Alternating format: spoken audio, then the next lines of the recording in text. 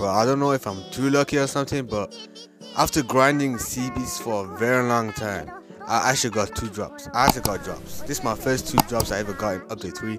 I got CB's Smashed Orange version. That's legendary.